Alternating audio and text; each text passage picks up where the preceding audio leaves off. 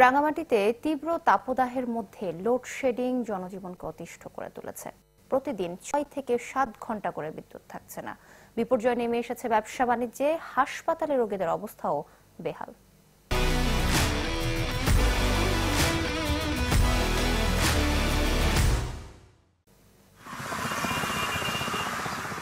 প্রচণ্ড গরমের সঙ্গে পাল্লা দিয়ে বেড়েছে বিদ্যুতের চাহিদা। কিন্তু সেই তুলনায় সরবরাহ কম হয় রাঙ্গামাটি শহর ও গ্রামে। লোডশেডিং হচ্ছে ঘণ্টার পর ঘণ্টা।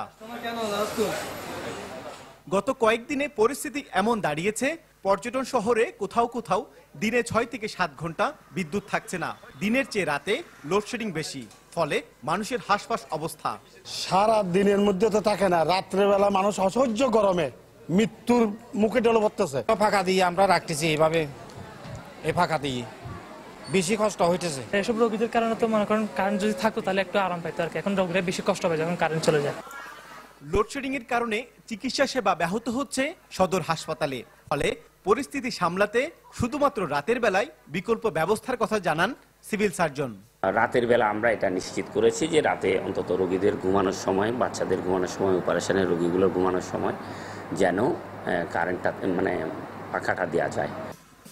বিদ্যুতের ভেলকিবাজিতে সংকটে ব্যবসা বাণিজ্য এতে লোকসানে ব্যবসায়ীরা। বিদ্যুৎ এক ঘণ্টা থাকে এক ঘণ্টা থাকে না কাজ করে মানে ঠিক মতো কাজ করে ডেলিভারি দিতে পারতেছি না। লোডশেডিং হওয়ার কারণে গরমের কারণে মানুষ বের হচ্ছে না আহ, মার্কেটে খুবই কম আসতেছে। পঁচিশ ফুট তিরিশ ফুট কাটতে সারাদিন চলে যায় আমাকে রাতের আটটাও বেজে যায় কারণ কারেন্ট থাকে না সবসময় বসে থাকতে হয়।